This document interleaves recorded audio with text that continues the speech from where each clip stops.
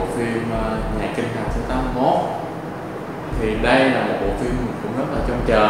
Thứ nhất là mình rất thích phim kinh dị các bạn. Và nó là mình coi mỗi ngày, mỗi đêm. Nó rất thích. Thì khi bộ phim mình ra mắt mình cũng rất là trông chờ. Cái thứ hai là có sự trở lại của Trung Ân Đồng với lại Trương Chí Lâm. Là những diễn viên cũng có tên tuổi ở tại Trung Quốc. Và cái lý do tiếp theo đó chính là mình thích cái uh, bối cảnh mà bạn cái bối cảnh mà giống như là thời uh, những người hoa thời xưa những cái áo ờ, những cái áo sườn sáng những cái áo ờ, những cái trang phục xưa thì khiến mình nó tạo nên cái một cái ờ, vẻ u ám của bộ phim thì nó là mình thôi thúc để xem bộ phim này hơn. Và rất là nhiều lý do.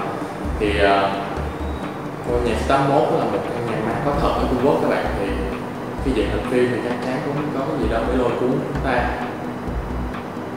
Và sau khi xem xong bộ phim thì thấy hơi buồn. Buồn ngủ các bạn thật ra rất buồn ngủ. Phim nó dài lê thê mà nó nhiều cái nó, nó vô lý khó hiểu. Nói chung là thật ra là xem bộ phim này mình thấy là không có hay tí nào hết. Thì trước đây đã từng có một bộ phim ờ, uh, Kim Thành số 81 do Lâm Tâm Như đóng. Thì khi Lâm Tâm Như đóng bộ phim đó thì nó cũng đã hơi dài dòng lên thê rồi. Và khi làm lại bộ phim này 2017 thì và nó là buồn. Khán giả xung quanh buồn ngủ. Nó chỉ có những cái tình huống hù lâu lâu hù cái hết hồn thôi thì cái nội dung nó cũng không có gì hay mà chỉ làm mình mình cái hù thôi. Thì đó là review của mình.